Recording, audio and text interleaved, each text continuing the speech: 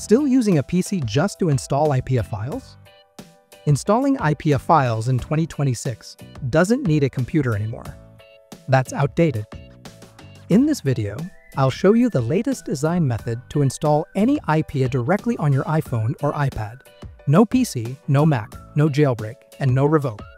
First, open Safari on your iPhone or iPad. Now, in the address bar, type applejr.net and press go. Once the website is loaded, scroll down until you find the eSign section. Here, you'll see the latest eSign version for iOS 2026. And make sure you check this website regularly because I update it almost every day with new certificates and fixes. Now, before installing eSign, you need to install AppleJR DNS. Tap Install DNS Profile, then click Allow. Then install the profile by going to Settings. Hit Profile Download, and install the profile configuration. Once AppleJR DNS is installed, and go back to AppleJR website. At the top of the page, you'll see a list of eSign versions. Always select eSign with signed status. This means the certificate is currently working. You can install eSign one by one from the list. If one version doesn't work, just try the next signed version. When you've chosen one, tap Install. After that, eSign will appear on your home screen.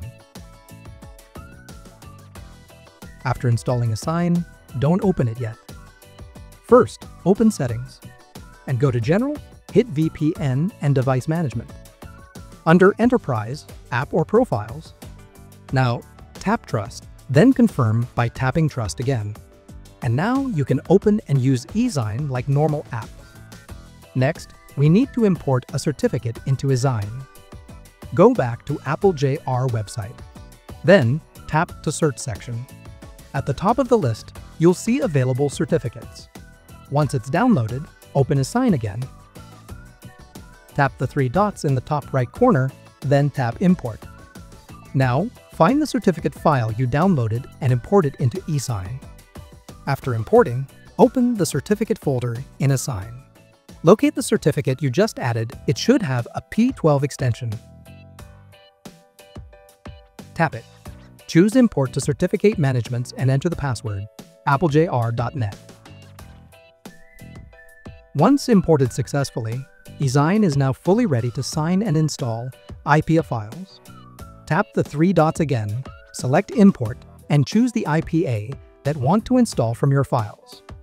After importing, go to the Apps tab. Tap the app icon, select Signature, and finally tap Install. Wait for the installation to finish, and when you see the app icon appear on your home screen. And that's it. This is the new eSign method in 2026 to install IPA files on iPhone or iPad without a computer. You can install and run IPA files directly on your device. Thanks for watching, see you in the next one.